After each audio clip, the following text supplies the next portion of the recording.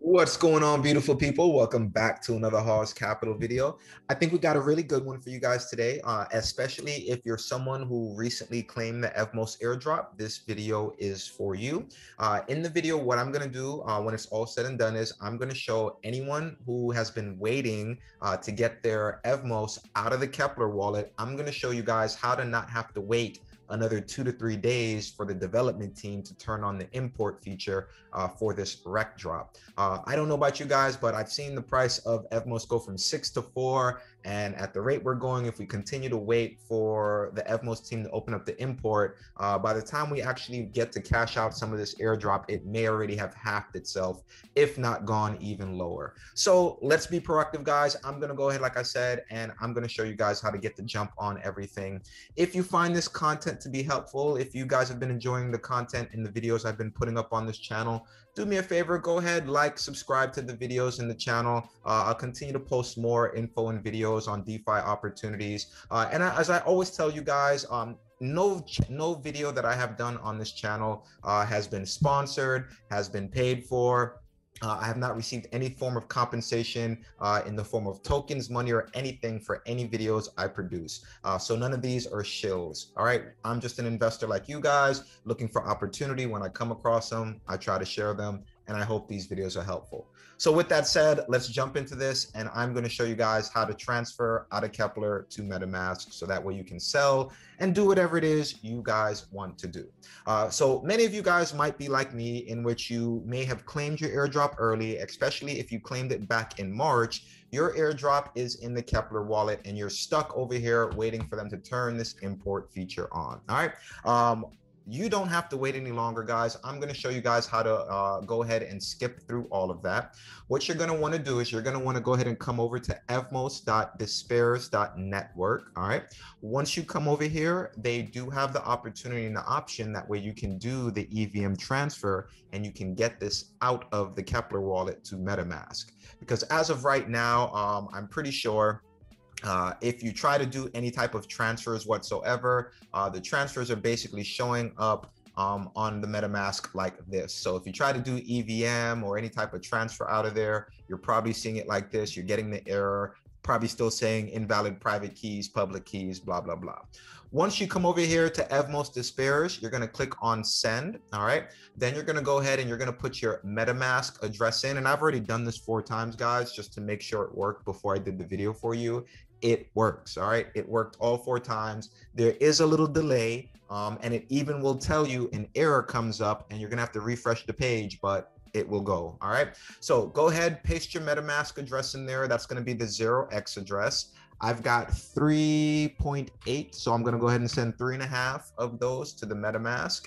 Hit next and then hit send. It should pop up in your Kepler wallet and ask you to go ahead and sign and confirm. Once you approve the transaction, give it a second, guys. All right. This is the part where you kind of got to be a little patient and you're going to have to wait. Um, give it some time. It'll come up, it'll process. More than likely, you'll see another pop up come up on this website and it will tell you there was an error, uh, transaction unable to send, aborted um, network failed after six seconds or some something like that. I don't remember what it said, but I got a message something like that. However, every time that message come up, it came up all four times for me, but all four times my Evmos ended up from Kepler in the MetaMask where I needed it to go. All right. So just let it be patient. Uh, and right now, guys, like I said, you can bring it over to Diffusion Finance. Uh, and again, it's hopefully this is helpful to you, a lot of you, because uh, it's a shame to watch the airdrop go from such a good value uh, and it's just losing value every day, every day, as only certain amount of people are able to go ahead and get out and sell. Um, the pools for Diffusion have actually opened up. Uh, so for anyone who is interested, you can actually do some farming and pooling now. Uh, again, be careful. You know, liquidity is still growing on there. You know, as of yesterday, liquidity was pretty pretty poor, but uh, that's actually a pretty decent jump in liquidity as of right now.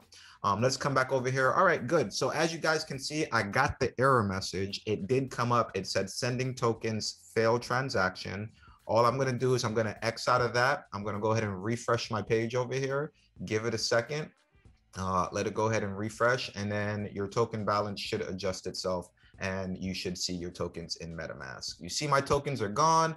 Now, when I come over to MetaMask, look at that, guys. Give it a second. Let's let it update. MetaMask now has the additional three and a half tokens. All right.